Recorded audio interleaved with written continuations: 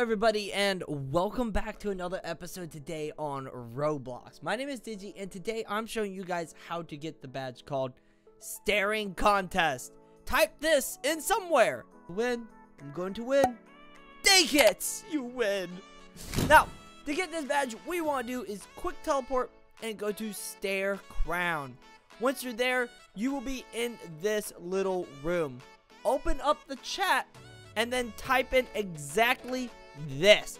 You then obviously, I got the badge, but that is what you want to type. All those exactly the way you see it.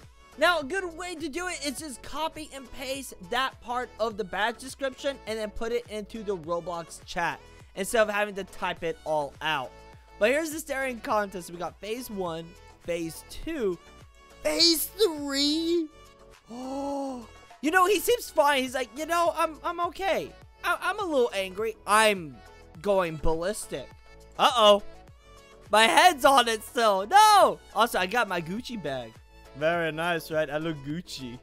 Anyways, everyone, that is all for today. Thank you guys so much for watching. If you enjoyed, leave a like, subscribe down below, and join the Badge Hunting Squad today. I've also got a Roblox group, a Twitter, and a Discord. The links are in the description down below.